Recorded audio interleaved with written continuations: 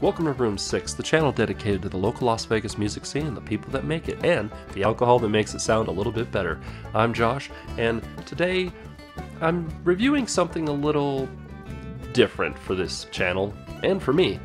For some reason, my in laws, knowing full well what my channel is about and what I like to review, thought it would be a great idea for Father's Day to gift me with this. For those of you that don't recognize it, this is Captain Morgan Cannon Blast. That's right, the guy who likes to review whiskeys has a bottle of rum to crack open.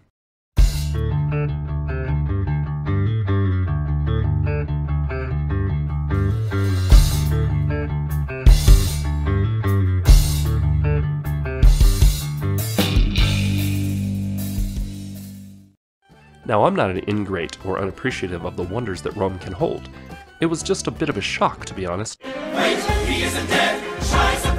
But then I realized I have an opportunity to try something new and make content at the same time. So, seemingly marketed as a shot and coming in at 35% alcohol by volume, this gluten free product of the Virgin Islands is supposedly a more intense version of the traditional Captain Morgans that we're all familiar with.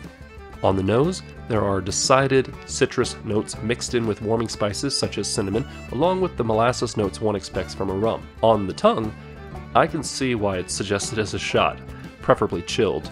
I tried it neat in a Glencairn and as a room temp and chilled shot. All the sugary sweet notes from the nose were present and turned up to 11, so the chilled way was the way to go. The finish is fairly smooth with some cinnamon burn, and I was surprised to find I wanted another shot almost immediately. I can definitely see this being popular at a party or gathering, and leading to some hilarious stories the next morning.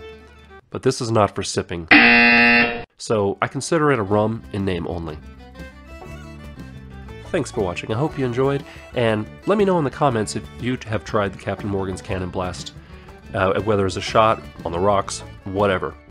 Uh, in the meantime, if you'd like to support the channel, there are links down there for the shop, room6.shop, as well as the Patreon page, and other ways you can support. If you'd like to be on the channel, whether interviewed or reviewed, by all means, hit me up. If you'd like to see more videos like this, click up in that corner, and if you'd like to subscribe, you know what to do. Make sure you ring the bell as well, so you'll be notified when any new videos get posted. Really glad you dropped by. Thanks for listening and watching, and remember to be amazing, and we'll see you next time on Room 6.